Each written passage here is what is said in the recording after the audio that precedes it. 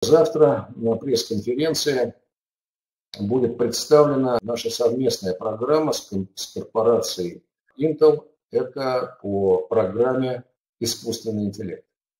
Я думаю, что для вас это будет тоже очень интересно, поскольку это программа для школьников по их обучению инструментам искусственного интеллекта, искусственное зрение, искусственный слух и так далее, поскольку мы с вами сегодня живем в тех самых условиях широчайшего распространения искусственного интеллекта, и мы неоднократно говорили на наших вебинарах о необходимости подготовки и нас самих в первую очередь, и детей к жизни в условиях искусственного интеллекта, который является основой безопасности и успешности человека. Но вы все на себе, или большинство, уже испытали инструменты искусственного интеллекта, особенно те, кто путешествовал, а, когда в аэропорту вы прибываете, вас снимает камера, а дальше вы неожиданно получаете сообщение о том, что вот надо пойти сдать анализ на ковид, или то, что вы, наоборот, этого не сделали и так далее. То есть это совершенно другая реальность нашей жизни, которая сформировала новую, многомерную, в том числе, среду развития образования, где виртуальная и реальная действительность взаимодополняют друг друга. Эта среда понятна, естественна, увлекательна для молодежи, которая не осознает всех возможностей и всех рисков этой среды. И это для нас с вами очень серьезный вопрос. Но тем не менее, это новая сетевая среда э, жизни человека. Второй очень важный момент – это то, что мы должны с вами очень хорошо понимать, что переход к онлайн-образованию, переход к цифру это не краткосрочный тренд. Это новая реальность нашей жизни. И будущее уже позади тех, кто его пропустил. Здесь э, мы должны говорить об этом откровенно. Понятно, что наши школьники, наши дети имеют в карманах зачастую более продвинутое устройство, чем учителя. Они более зачастую эффективны в использовании тех самых цифровых технологий, но они, в отличие от нас, не обладают тем опытом, который, может быть, во многом сегодня уже бесполезен в новой реальности, но тем не менее не осознают, какие последствия может иметь их деятельность. И э, в данном случае они готовы даже больше учителей к решению самых разнообразных жизненных, в том числе и образовательных задач, с тех устройств, которые лежат у них в кармане. Я э, в воле пандемии наблюдал вот за двумя своими внуками, одной 8, э, второму 5 э, в течение последнего полугода. И вот сейчас они отправились в школу. Я с ужасом думаю, вот как мой маленький, младший внук, пятилетний, в общем-то, будет адаптироваться к не очень понятной для него среде современной школы. Это абсолютно цифровые дети – с очень сформированными цифровыми компетенциями. И вот на моих глазах в течение пяти месяцев пятилетний ребенок научился читать, считать, и все это с помощью цифровых устройств, потому что для него это среда его жизни, когда он на YouTube или в интернете находит все то, что ему необходимо. И мы должны быть с вами готовы думать над тем, а каким образом учить этих детей. Очень важный момент э, перехода нашего от традиционной классно-урочной системы – это, конечно, а как мы понимаем на сегодня очное образование. Вот мы говорим с вами о моделях очное, очное, заочное, заочное. На самом деле прописано в законе образования, это фиксирует ту реальность, которая существовала много-много-много-много десятилетий. Но а как мы сегодня оцениваем очное образование? Это что, физическое присутствие в классе? Или же это выполнение каких-то проектных заданий, работ совместно со сверстниками, в партнерстве и под руководством педагога, во взаимодействии с организациями доп. образования.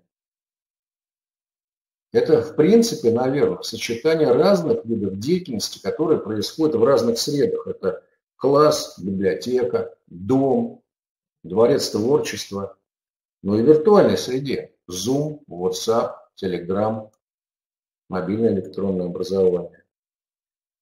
Когда ребенок выполняет сложные, нестандартные задачи, которые имеют для него личностную, командную, социальную значимость. Вот мы это очень хорошо увидели в э, проекте оси. Кадры для регионов, который реализуется на, на платформе мобильное электронное образование, насколько раскрываются дети, насколько они увлечены, как замечательно они взаимодействуют, как проявляется их творчество, креативность, когда они попадают в узнаваемую, увлекательную для себя среду. Ну и э, в этом отношении мы должны понимать, что информатизация школы в традиционном понимании э, это, в общем-то, воспроизводство знаний. И когда мы работаем со школами, и директор получает работу с нами зам по информатизации, потому что мы цифровая платформа, мы сразу говорим, не делайте такой ошибки. Это не дело зама по информатизации. Это дело зама учебно-воспитательной работе. Мы говорим о среде воспитания и развития ребенка, который имеет не аналоговую, не бумажную или вербальную, а цифровую аналоговую и вербальную основу в этой смешанной реальности. И э, вот эти ошибки э, цифровизации образования, которые вы можете посмотреть свои региональные программы, федеральные программы, они у нас в основном все сведены к тому, что ставим оборудование, протягиваем интернет. А в общем-то вы прекрасно понимаете, что наличие устройства в кармане обеспечивает доступ к интернету и не нужно никакое больше оборудование. Ну, здесь я, безусловно, утрирую, но это не главное. А главное то, чему учить и как учить, и в какой среде учить. Вот это третье условие, на какой образовательной платформе учить.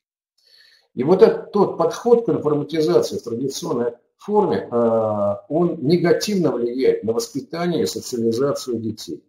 Уровень их социального взаимодействия и социальной активности – и мы видим четкий дисбаланс между яркой, динамичной, интересной, увлекательной жизнью, которой живут дети за пределами школы и в социальных сетях, реализуя свои потребности в коммуникации, взаимодействии, самопрезентации и жизнью школы, которая, к сожалению, ориентируясь на ЕГЭ, ОГЭ, теперь еще и ВПР, в общем-то, не несет личных для них смысла.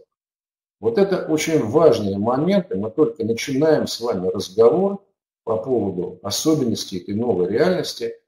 Я вам сейчас перечислил три тезиса из своей статьи. Сентябрьские тезисы я назвал, может быть, будут, ну, наверное, сентябрьские. Она выйдет в учительской газете на следующей неделе, 23 числа. И вот я пригласил коллег для того, чтобы порассуждать на эти темы, поговорить, обсудить. Я приглашаю всех вас к этому обсуждению. Пожалуйста, присылайте ваше мнение, ваши вопросы. Кстати говоря, учительская газета планирует предложить э, обмен мнениями по этим тезисам, и мы бы с вами порассуждали над тем, а что сегодня формирует современное цифровое образование, каким образом можно помочь учителю, семье, руководителю образовательной организации организовать то самое образовательное пространство ребенка, которое будет для него интересным, увлекательным, ярким, ну и так далее. Пожалуйста, коллеги, у нас с вами 45 минут еще остается. Давайте начнем наш разговор. И я представляю слово Чигиревой Елене Викторовне, заместитель директора общеобразовательного центра «Школа». Это частная замечательная школа в городе Тольятти, великолепное здание, очень симпатичное но и такой же коллектив. Пожалуйста, Елена Викторовна.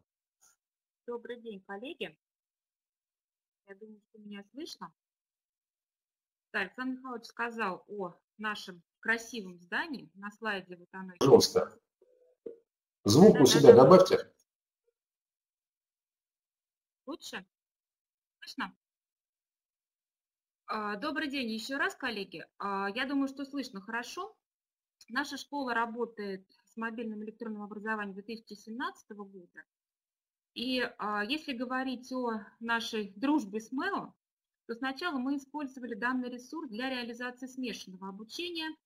Мы а, были площадкой Высшей школы экономики, в частности, по реализации смешанного обучения, МЭО здесь у нас был очень хорошим подспорьем для работы в моделях смены рабочих зон, а перевернутый класс. Кроме того, в, мы используем МЭО для организации обучения детей временно отсутствующих в школе. Я говорю о болеющих, о спортсменах. Но вот та пандемия, которой мы столкнулись, заставила нас по-новому посмотреть на а, цифровое образование, по-новому посмотреть на организацию. И поэтому я бы хотела сегодня остановиться на тех уроках пандемии, которые мы вынесли, я думаю, что все школы вынесли. И а, затронуть те проблемы, которые увидели мы и в ходе четвертой части,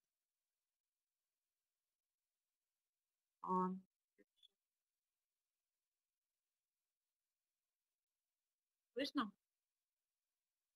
А, проблемы, которые услыш... увидели мы и в ходе четвертой четверти, и а, в ходе в целом реализации цифрового образования. Я лишь скажу, что на начало 1 сентября 2000 года мы подключили всю школу, начиная с 1 по 11 класс, на цифровую площадку МЭМ. В ходе работы в дистанции мы увидели а, необходимость прежде всего сочетания онлайн и офлайн обучения и а, понятно, что такое сочетание он и оф необходимо прежде всего для того, чтобы, если вдруг уйдем в дистан, то организовать эту работу эффективно. Кроме того, в школе, я думаю, что в каждой школе есть дети, которые временно отсутствуют, и поэтому а, еще одна проблема и еще одна необходимость, которая стала перед нами, это а, сочетание очного и заочного обучения. И правильно, я согласна а, с Александром Михайловичем, который сказал о том, что очно-заочное обучение и очное обучение – это не только присутствие ребенка в, школ, а, в классе непосредственно, это и проектная деятельность, которая может быть организована в той же библиотеке. А, кроме того, третий аспект, вот о котором я бы хотела поговорить, разнообразие форм работы при онлайн-обучении. Я думаю, ни для кого не секрет, что а, зумовские конференции, которые в четвертой четверти мы все организовывали, а, показали нам преобладание все-таки фронтальных форм работы. И а, вот эта проблема, которая натолкнула нас на необходимость разнообразия форм, на включение в онлайн-образование, в офлайн образование, в, в частности, групповой работы, самостоятельной работы с выполнением заданий и в настоящий момент четко могу сказать, а, что а, этих заданий очень много в мобильном электронном образовании, и поэтому мы решаем эту проблему а, с помощью этой платформы. И как только, я считаю, школа решит проблему разнообразия форм работы при онлайн-обучении, можно тогда будет говорить непосредственно о внедрении цифрового образования. Потому что вот называть цифровым образованием все то, что проходило а, в наших школах четвертой четверти, я думаю, можно с натяжкой.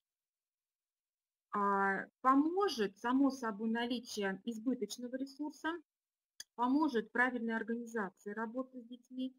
И а, следующий аспект, на котором я бы хотела остановиться, это правильная организация деятельности ребенка. А, как только мы правильно организуем онлайн, офлайн обучение, мы высвободим дополнительное время для углубления ребенка в тот или иной предмет, для дополнительного времени а, для занятий по интересам. И, наверное, последний а, урок пандемии, на котором я бы хотела остановиться, это уровень цифровой грамотности обучающихся. Да, Александр Михайлович сказал, что сейчас у нас дети цифровые, у них в кармане гаджет, и они с ним справляются профессионально. Но мы, когда вошли в МЭО в 2017 году, когда вошли э, в четвертую четверть прошедшего учебного года, увидели, что не все дети, к сожалению, владеют хорошими навыками работы с техникой. Я говорю о ноутбуках, о компьютерах, я говорю о планшетах. И поэтому вот это еще одна проблема, которая стала перед нашей школой в частности. Мы ее решаем а, через индивидуальные консультации, через а, групповые занятия. И за две недели, прошедшие в сентябре, мы провели уже не одно групповое занятие в начальной школе, в частности, с теми ребятами, которые учились впервые в средней школе, в пятом-шестом классе, мы решаем эту задачу через наш внеурочный курс, который мы называем инфознание. Это вот те проблемы а, и уроки, которые поставила перед нами пандемия, которые по-своему решает каждая школа. А я бы хотела остановиться еще на одном вопросе, который затронул а, Александр Михайлович в вступительном слове. Это конвергентная реальность и школа. А, и само собой мы говорим о необходимости конвергентного обучения. Я взяла в качестве цитаты и расшифровки «Мир как единое целое». Да, а, мы говорим об обучении, которое направлено на формирование междисциплинарной образовательной среды, причем как на уроке, так и во внеурочной деятельности, в которой школьники будут воспринимать мир не как отдельный предмет, русский язык, история, математика, а как единое целое. И по окончании школы нам необходимо стремиться к тому, чтобы учащиеся освоили новые виды деятельности. У них должно сформироваться научное мышление. Они должны уметь владеть а, ключевыми понятиями разнообразных наук. Все эти а, ключевые понятия, результаты обучения заложены в ВГОС всех уровней образования. Мы все с ними знакомы. И это и есть вот те 4К, о которых очень много говорят в последнее время в образовании. Само собой, а, когда мы говорим о конвергентном обучении, возникает два вопроса. Как учить, как сделать вот этот процесс конвергентным и кто будет учить детей. Ну, если отвечать на первый вопрос «как», то мы для себя а, находим ответ в мобильном электронном образовании, и в частности, это один из ресурсов, внутри каждого курса МЭУ задание к занятию. На слайде я представила, очень коротко позволю остановиться вот на этом задании к занятию, более подробно мы об этом рассказываем на форсайт-сессии. А в каждом занятии есть задание к занятию, и вы видите на слайде описание задания, непосредственно а, ключевые слова, те подсказки, которые помогут учителю и ученику организовать работу.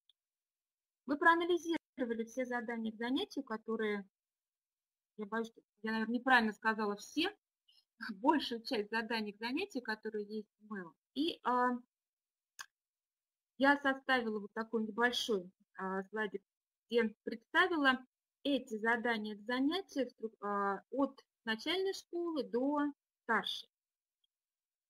Все задания, если посмотреть на слайд, направлены на формирование 4К. Креативность, критическое мышление, кооперация и коммуникация.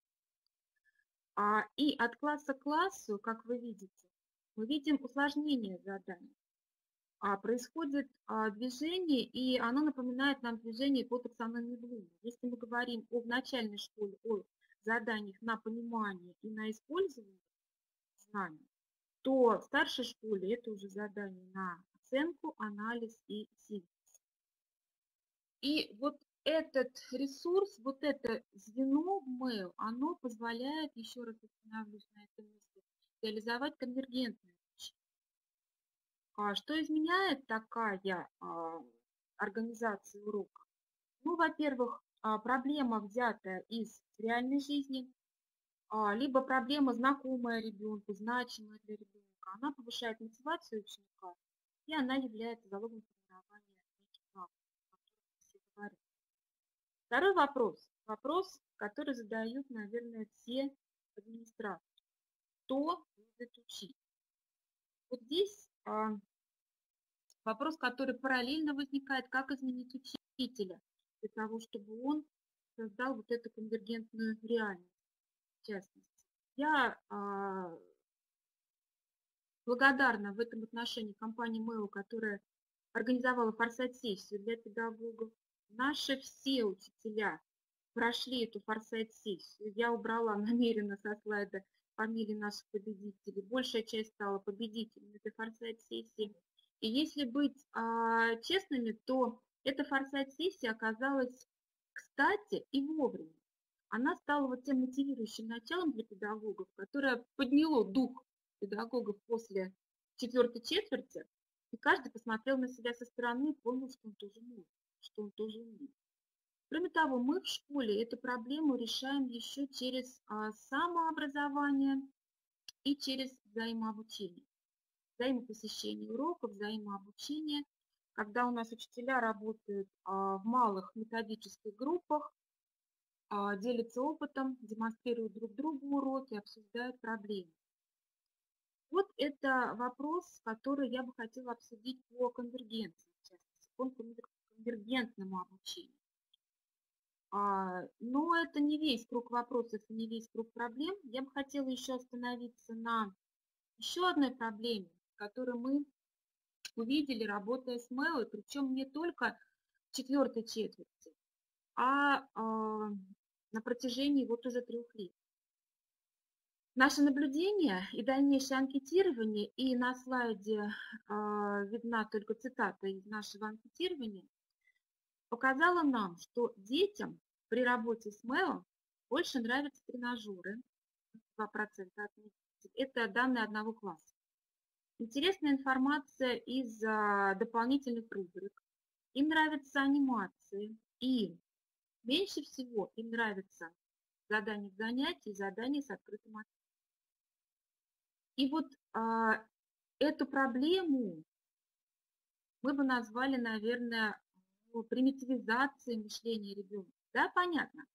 Детям легче нажимать на кнопки, выполнять какие-то задания тренажерного характера, сразу получать ответ правильный или неправильный, молодец или попробуй еще раз. Им интереснее рассматривать рисунки, анимации, а, и гораздо больше времени они затрагивают на задание с открытым ответом, на задание к занятию.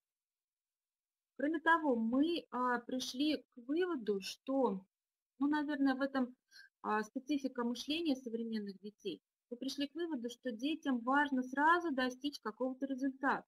И они частенько, даже не всегда, я не говорю о всех детях, конечно же, не всегда прочитывают, не всегда анализируют материал всего интернет-урока в том же Mail или в любом другом ресурсе, а они сразу открывают задание, выполняют его, выполняют его само собой до качества. Вот это, эта проблема, которую увидели мы, я бы хотела вот обсудить ее а, с коллегами из других школ. Александр Михайлович тоже, я думаю, что эта проблема достаточно интересная для а, команды МЭО будет. Сказать, что мы решили эту проблему, нет, не можем. Мы понимаем одно, что она есть, ее решать нужно сообща. Отказываться от заданий к занятию мы не собираемся, само собой. Отказываться от э, заданий с открытым ответом в разном формате тоже это не наш выбор. И последнее, на чем бы я хотела остановиться, еще одна проблема, которую я бы хотела поставить, это вот тот разрыв между необходимостью конвергентного обучения и формой итоговой аттестации. Павлович тоже об этом сказал. Да, 10-11 класс у нас, как правило, уже готовится к ЕГЭ. И, к сожалению, вот тот формат ЕГЭ, который сейчас существует, он не направлен на контроль этих мягких навыков, этих 4К и этих заложенных результатов но э, эта проблема, само собой, приводит к тому, что учителя уходят в натаск, учителя уходят в отработку непосредственно ЕГЭшного материала. Мы же понимаем, что так не должно быть. И ситуация, в частности, произошедшая в этом году э, с ЕГЭ по химии, когда детям были незнакомы формулировки, КИМ, э, говорит нам о том, что ситуация должна поменяться. Я думаю, что ситуация, а, содержание ЕГЭ с введением ФГОС старшей школы тоже должно измениться. А, кроме того, движение всей России в направлении PISA говорит нам о том, что мы должны работать непосредственно с заданием развивающим. И э, вот эти направления, должны быть точку, точку конвергентности, течение все-таки. Вот такие проблемы, коллеги, о которых я бы хотела проговорить. Я спасибо за то, что выслушали. Я готова обсуждать, готова к взаимодействию, к сотрудничеству. Большое. Ну, э, во-первых, коллеги, вы услышали про форсайт-сессию, и мы получили очень интересный результат от ее участников. Ну, вот это прозвучало только что выступление. Это мы можем отдельно, наверное, как-нибудь обсудить. Это очень важно. Но э, вот спасибо за то, что вы подняли вопрос о примитивизации образования. Вот это архиважно. Мы с вами говорим о том, что наши дети выходят на улицу, попадают в сложный мир, который сегодня во многом управляется и контролируется инструментами искусственного интеллекта. Сложнейшими инструментами социального взаимодействия не всегда с добропорядочными людьми. А мы продолжаем их напихивать тестами, которые, к сожалению, ничего, кроме примитизации мышления человека, а главная задача сегодня – это формирование мышления человека. Об этом говорил еще Василий Васильевич Давыдов 50 лет назад, что это главная задача. Я уже молчу про Выгодского, Леонтьева и так далее. И э, давайте совместно решать вопросы о том, каким образом э, мотивировать педагога на то, чтобы максимально использовать сложные нестандартные задачи. Выйдя из школы, нашим детям придется решать не тесты, а сложные, нестандартные задачи. Прежде всего, социального взаимодействия, профессиональные задачи и так далее. Вот на что направлена образовательная среда МЭО. Для меня немножко неожиданный вот этот момент вашей презентации, но он архиважный. И вот этот разрыв между конвергентным обучением и формой итоговой аттестации – на данный момент он иллюзорный. Почему? ЕГЭ меняется, а PISA совсем про другое. И программа 500 плюс для школ с низкими образовательными результатами, она же про результаты PISA, а не про тесты.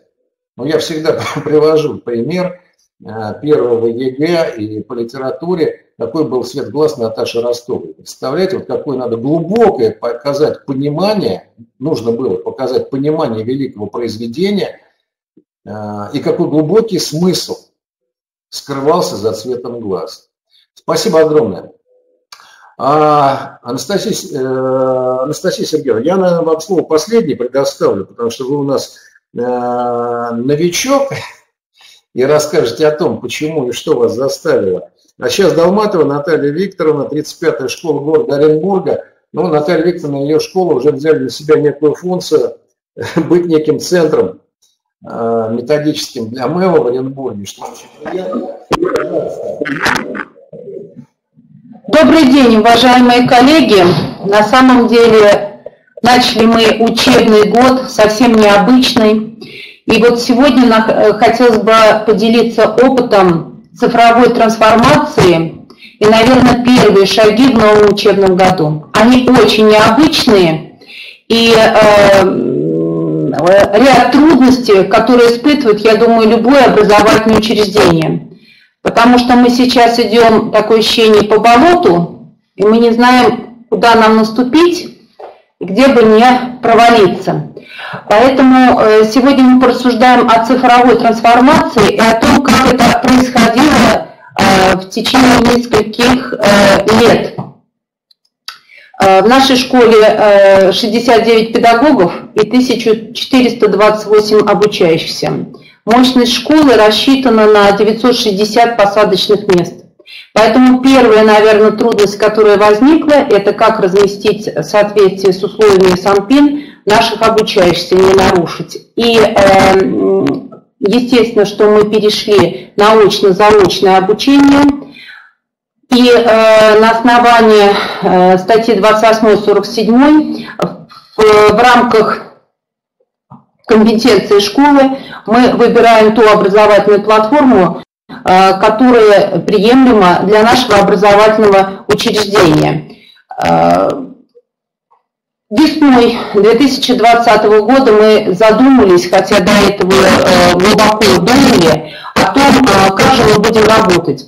Ну, вот в таком совместном доступе мы рассуждали с коллегами о том, как мы будем осуществлять взаимосвязь, какие платформы мы будем использовать и как мы будем осуществлять обратную связь с родителями, с учителями, с друг с другом, с коллегами. Ряд платформ, которые выдвинули и выбрали педагоги, которые используют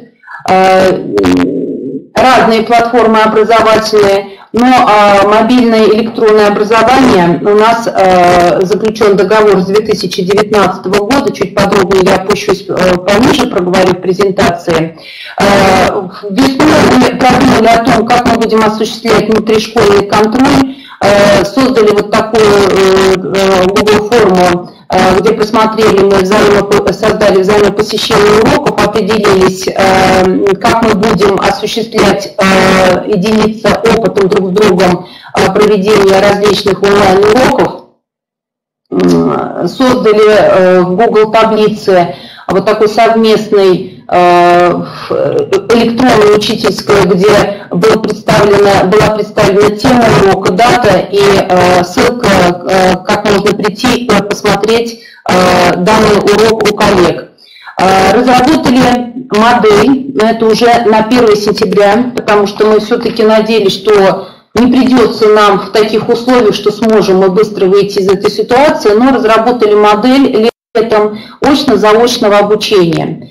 И э, так как школа 1428 обучающихся, у нас получилось, что э, часть предметов мы даю, выдаем в очной форме, часть предметов мы выдаем в заочной форме через, с использованием э, э, цифровой образовательной среды, ну и конкретно э, тех э, платформ, с которыми заключены у нас э, договорные отношения.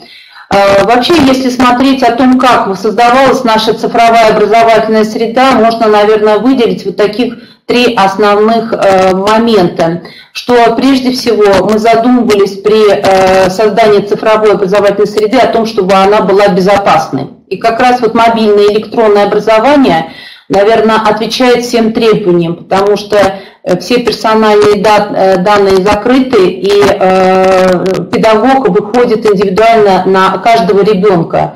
Мы задумались о том, как правильно нам формировать цифровую культуру в образовательной организации, чтобы она соответствовала требованиям цифровой трансформации. Мы думали о цифровой грамотности не только педагогических работников, но и родителей и обучающихся.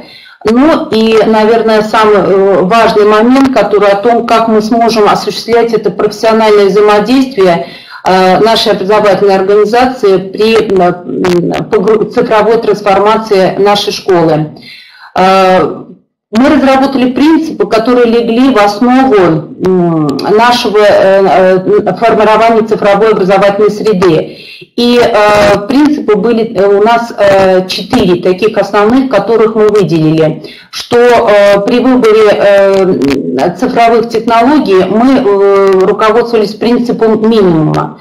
То есть э, если мы брали какую-то образовательную платформу, мы погружались и брали какую-то технологию, погружение было у нас в течение четверти или года. А, второе, что обязательно и очень важно при поддержке мобильного электронного а, образования, очень а, доступна научно-методическая поддержка потому что именно благодаря мобильному электронному образованию мы получали и получаем мгновенную обратную связь. Очень важно, что происходит модель социального обучения. Вот как раз коллега отмечала о том, что происходит у нас на форсайт-сессии. Это э, модель социального обучения, когда профессионально э, педагоги могут обучать друг друга, э, высказывать свою точку зрения и видение по выдаче материала. И вот буквально у нас позавчера, э, в пятницу, наверное, уже дата даже в пятницу произошло обучение внутри школы, между школами э, э, по секциям. Учителя русского языка обучали друг друга математики секции и достаточно высокую оценку получили педагоги оренбургских школ. А, также очень важный принцип – это внутришкольный контроль внедрения цифровых технологий. То есть нам очень помогает вот эта систематизация. Не каждый э, педагог оказывается эм, оставлен один сам собой, мы можем отследить администрации, посмотреть и высказать свою э, точку зрения на то, как идет внедрение. Потому что статистика, которую мы запрашиваем в мобильном электронном образовании, нам необходима для административной работы и стимулирования затем педагогов.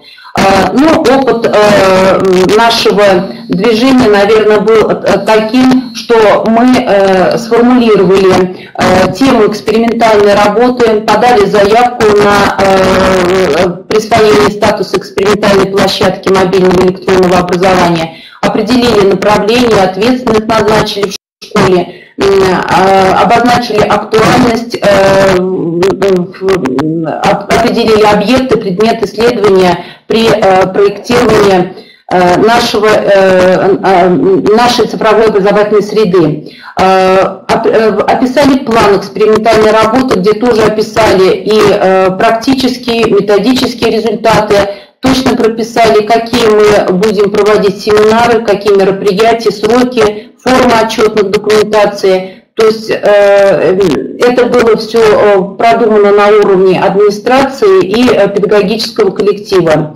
Разработали чек-листы. А, тоже они очень важны, потому что при проектировании цифровой образовательной среды очень важно, что будут выполнять администрация, деятельность администрации, деятельность педагога, ну и деятельность обучающихся, потому что при внедрении любой образовательной платформы необходим ряд мероприятий для того, чтобы этот процесс прошел более успешный.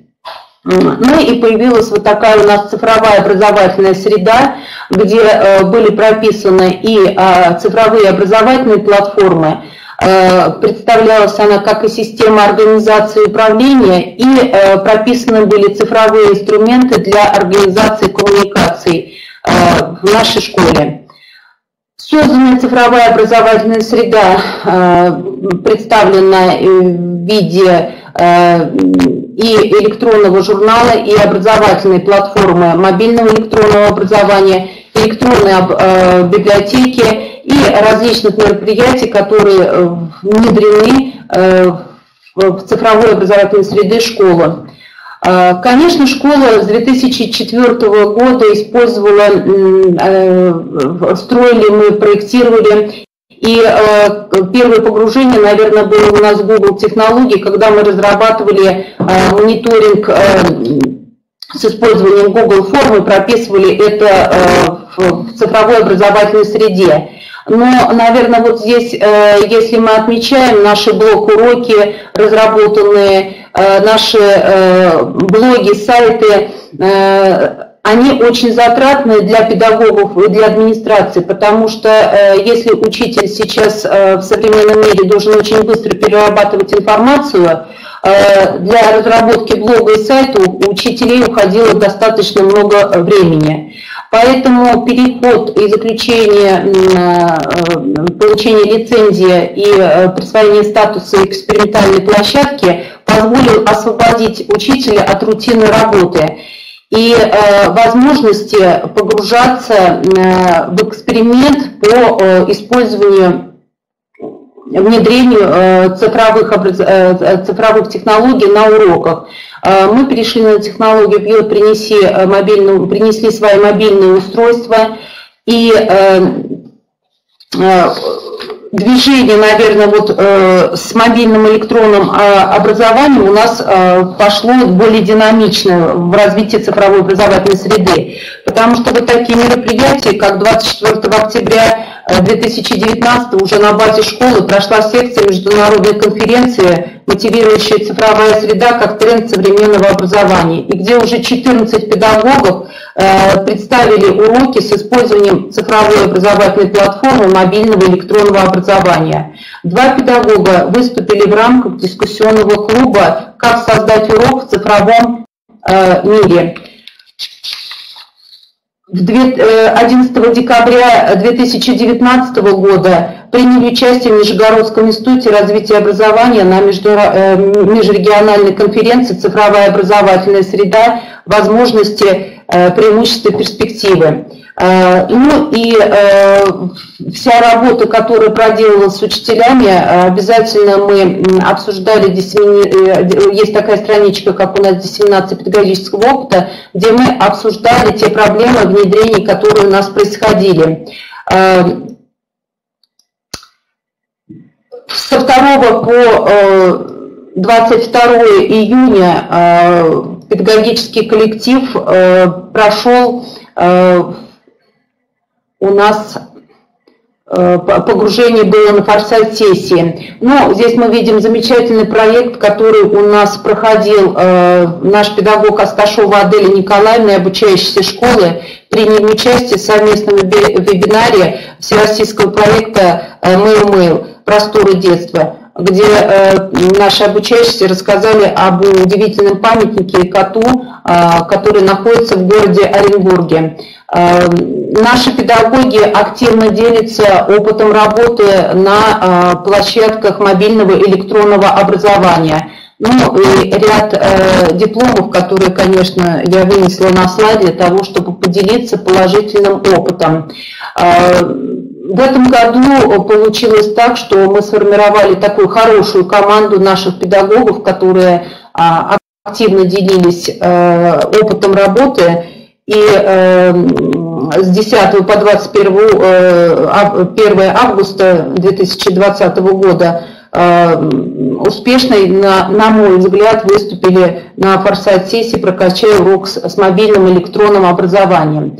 В результате вот нашей экспериментальной работы получилось, что э, сотрудничая с мобильным электронным образованием открывается какое-то второе дыхание. И э, наши педагоги прошли э, повышение квалификации, стали преподавателями робототехники, э, заключили договор с РОБО, и школьный проект одержал победу э, в грантовом проекте «Робокар». Э, прошло у нас уже открытие этого э, клуба заинтересованностью педагогов у родителей. Я думаю, что вот движение школы получилось после того, как мы все-таки стали более научно, более целенаправленно, целеустремленно идти к, к этим результатам. Более подробно о формировании цифровой образовательной среды можно прочитать в журнале «Директор школы» 4, э, номер 4 2020 года, э, где мы описали подробно о том, как получились наши первые шаги в цифровой трансформации, э, цифровой трансформации. А, ну, вообще, наверное, хочется сказать, что вот наш девиз «Школа, доступная для всех, уникальная, уникальная для каждого» позволяет нам э, этот девиз э, э, озвучивать благодаря сотрудничеству с мобильным электронным образованием. И спасибо, наверное, коллегам, которые поддерживают, которые оказывают ежеминутную, можно сказать, методическую нам поддержку. Спасибо большое, Виталий. Э, очень интересное выступление. Вы сочетаете разные, разные платформы. Постепенно полностью mail, который нанизывается я считаю, в принципе, и то, что деятельность посетителей взаимодействия педагогов по обмену опытом, это, конечно, вот те особенности нашего общества, в котором мы сегодня живем. Задаются вопросы по очной, очно-заочной, заочной форме обучения. Вы знаете, я хочу сказать о том, что вот давайте, я эту тему сегодня затронул, и давайте мы ее в один из следующих разов более внимательно поизучаем. Я думаю, что речь идет на самом деле о новом формате, форме очной формы обучения, где часть предмета или часть деятельности ребенка проходит в школе, часть э, деятельности проходит за пределами класса. Это может быть библиотека, это может быть дом, это может быть дворец пионеров и так далее. Но давайте вот об этом отдельно поговорим, поскольку это требует еще и серьезно э, ну, вот Светлана Васильевна согласна. Светлана Васильевна, тогда присылайте ваше предложение, ваше понимание, давайте вот эту дискуссию проведем. А, спасибо за столь быструю реакцию. Ну и последнее выступление сегодня Акмаева Анастасии Сергеевны, 51-я школа города Казани. который только-только к нам подключается. Пожалуйста, Анастасия Сергеевна. Да, добрый день, уважаемый Александр Михайлович, уважаемые коллеги, все присутствующие. Я, конечно, очень рада приветствовать всех вас, всех, кто идет много со временем, и, безусловно, благодарна коллегам, которые делятся сегодня уже своими успешными практиками внедрения мобильного электронного образования, а, своим опытом, своими наработками. И почему я сегодня здесь? А, наверное, потому что хочу отметить, что современная наша управленческая жизнь настолько динамична, настолько стремительна, что а, руководитель школы, человек, который хочет внедрять новые идеи и получать от этого максимальный результат, конечно, сегодня выжидающую позицию занимать никак не может – а, и для меня, конечно, сегодня большая честь и ответственность э, поделиться своими наблюдениями о тех сложностях, с которыми сталкиваются школы в Республике Татарстан, может быть, и во всей Российской Федерации, и постараюсь кратко а, изложить основные идеи а, создания цифровой образовательной экосистемы нашей школы с использованием возможностей мобильного электронного образования. Эм, конечно, мы все понимаем, что 2020 и 2021 год – это важнейшее время для всего человечества, но и для трансформации образования также. Конечно, цифровая трансформация школы, безусловно, нужна, поскольку новые социальные потребности, появление цифровых ресурсов и их Широчайшее использование в период самоизоляции и пандемии уже привели к значительным изменениям в секторе школьного образования. И вместе с этим, мне кажется, эти изменения представляют широчайшие инновационные возможности для разработки новых методов обучения и возникновения новых э, образовательных форматов. Э, этим, собственно, и объясняется важность переосмысления миссии образования – а, не только как транслятора знаний, умений и навыков, но и как индустрии возможностей для непрерывного образования и самореализации каждой личности.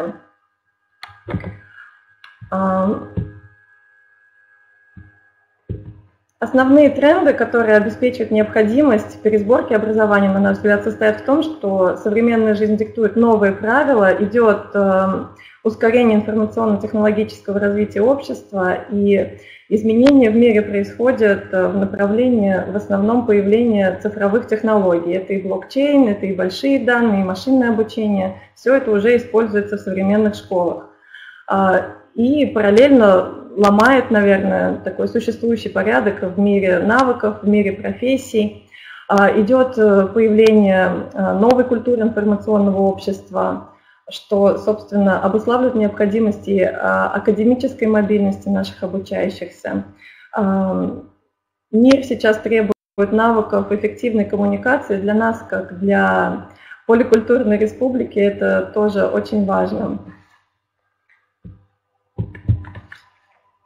Ну и в деятельности а, традиционных учебных заведений значительную роль стали играть принципы интенсификации знаний – а, это, наверное, способствует уничтожению всевозможных барьеров и созданию новых форм получения образования, в том числе а, виртуальных школ, нового формата очно-заочного обучения. И сегодня уже сами ученики информационной эпохи, наверное, требуют изменений в методах обучения, поскольку сами предпочитают в них интерактивный сотруднический компонент.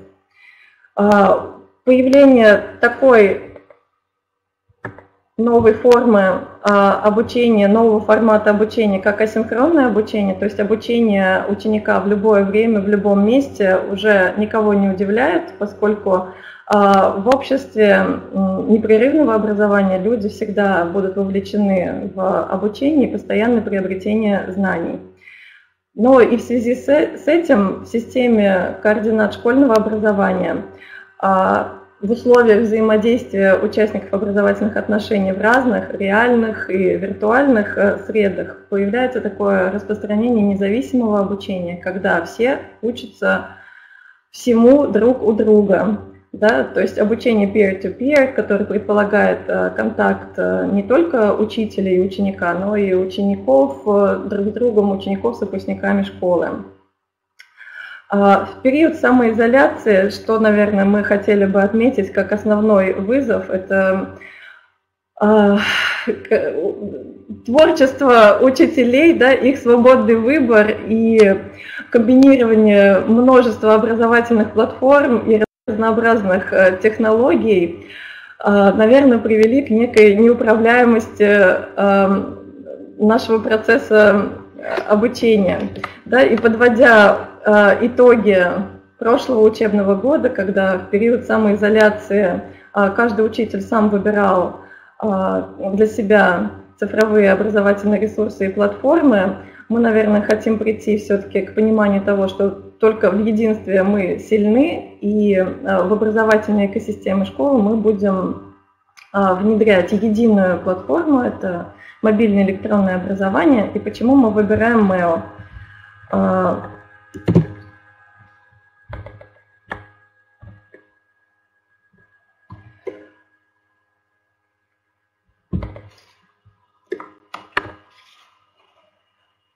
потому что только в МЭО, нам кажется, для ученика появляется такая альтернативная возможность а, к получению образования с учетом собственных интересов, собственных способностей, а, развития его самодеятельности, а, активности,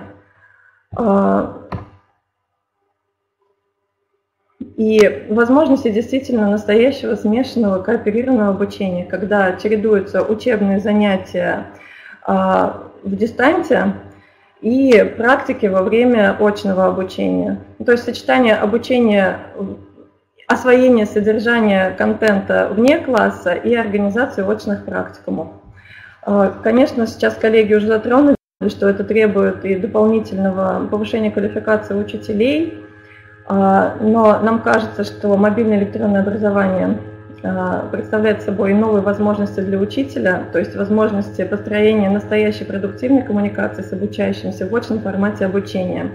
Это, например, возможно при реализации междисциплинарной модели обучения, да, когда у нас есть возможность в школе, а, в классе объединять, например, курс изучения иностранного языка с другим предметным курсом. Это и эвристические методы обучения, да, как э, возможность научить учиться путем выполнения интерактивных заданий, э, путем участия в дискуссиях и групповом обсуждении на уроках.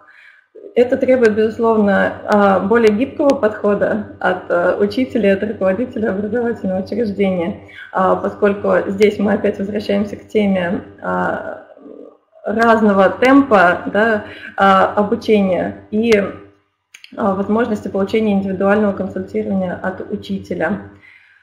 Ну и резюмируя, я хочу сказать, что да, мир меняется, школа не может оставаться в стороне, и школа сейчас на данный момент должна быть такой открытой лабораторией, которая предоставляет возможности для самостоятельного выбора, а, для построения индивидуальных образовательных э, треков каждого ученика, а, что, на наш взгляд, возможно только с мобильным электронным образованием.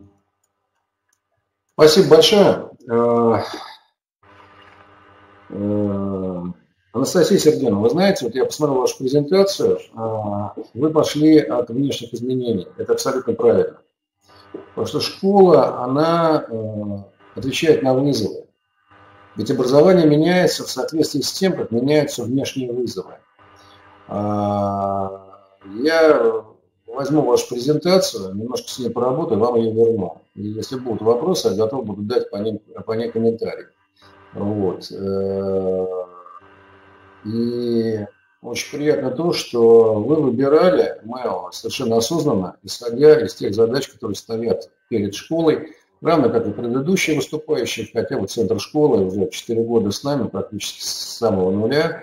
Вот. Э, Наталья Викторовна попробовала все, что могла попробовать, и пришла э, к своей модели развития, держа в основе нашу платформу. Коллеги, ну, вы знаете, что у нас время ровно час, остается практически одна минута. Я хочу поблагодарить коллег И хочу пригласить коллег, которые сегодня к нам присоединились, высказать свое мнение, и мы будем отвечать на эти вопросы. Формат вот новый очный форум обучения очень серьезный, но я бы обратил внимание вот на ту тему, которую мы постоянно поднимаем, но она сегодня прозвучала у Анастасии Сергеевны. Школа как система формирования личности ребенка. И школа без стен. А, школа, которая охватывает семьи, социум. А, давайте вот эту тему будем дальше развивать, а, на ней сосредоточимся. Ну а вот в следующий раз, я надеюсь, через две недели, что мы проведем наш вебинар – Наверное, сегодня было не самое удачное время, 12 часов, это мы с вами э, вспомнили наши времена сидения дома, поэтому мы перенесем, наверное, на 15 часов по Москве, но я постараюсь пригласить представителей корпорации Intel, и мы поговорим о жизни человека в условиях искусственного интеллекта и о той программе, которую Mel начинает вместе с Intel в России. Думаю, это всем будет очень интересно как освоение а, инструментов искусственного интеллекта, в том числе, оно невозможно без конвергенции знания, потому что это конверген... Э, сочетание естественно-научного, гуманитарного, э, физико-математического образования, то бишь программирования. Это уникальные возможности развития личности каждого ребенка. Я очень надеюсь, что в этом проекте мы создадим э, условия для того, чтобы Э, проявились таланты, проявились таланты и будущие звезды отечественной индустрии искусственного интеллекта. Ну а дальше будем продолжать, э, а дальше будем продолжать э, обсуждение вот тех вопросов, которые у нас с вами был. Задавайте вопросы, присылайте темы для тех обсуждений, которые вам кажутся значимыми. А, мы с удовольствием будем на наших вебинарах на, это, на эти вопросы отвечать. Наталья Викторовна, Елена Викторовна, Анастасия Сергеевна, спасибо огромное за, ваш, э, за вашу презентацию. А, будем дальше взаимодействовать, совместно работать и двигаться э, в направлении э, развития отечественной системы образования на цифровых образовательных платформах уже, на новых платформенных решениях – но в частности на платформе Mail. Анастасия Сергеевна, народ жалуется, что нет ресурсов к вашей презентации, тогда надо обеспечить, чтобы она здесь была. Всем спасибо огромное, хорошего дня. А, говорят, в Москве сегодня последний такой теплый день, завтра дожди и похолодание, но будем надеяться, что все еще вернется. Я вижу, что у нас присутствует практически вся страна. Кто-то говорит добрый день, кто-то говорит добрый вечер. Я приветствую коллег из Сургута, вижу здесь, из Сыргача. Ну, в общем, то, что сегодня формирует ОБКМЛ. Всего доброго вам. Спасибо.